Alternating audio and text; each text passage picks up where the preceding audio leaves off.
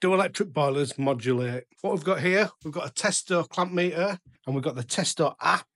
I'm going to turn this boiler on and we're going to have a look at modulation. Okay, so we're going to test the uh, boiler function now. We're going to test it on the heating and using the app and the clamp meter, we can demonstrate how the power changes throughout that test. We've got a graph here and this is going to show us the readings. We're going to leave this now for a few minutes and then we'll come back and we'll see how it's heating up. So here on the app, we have our blue line, which is currently demonstrating the power being applied to the element. Uh, our green line is our flow and our black line is the return. So already we can see this blue line making adjustments. So it's not working at full capacity and it will reduce and increase at different times just to get those temperatures raising steadily. just while that's heating up, this is a storage combi. So we've got a store of hot water there. That stores up to 80 degrees in temperature.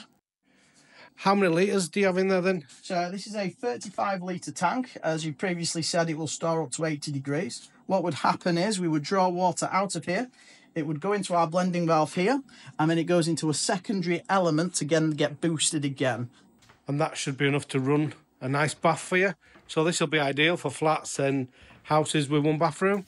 Just a little update, we've got 63 on the flow and we've got 53 on the return at the moment.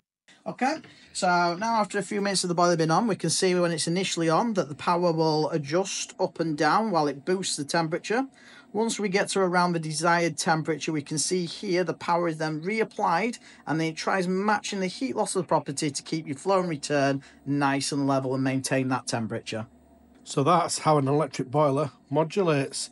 All it does is it adjusts the electricity that it's putting in to maintain temperature. If you've got any questions on electric boiler modulation, then just put them in comments below or anything to do with electric boilers really. As I say, this is a storage combi.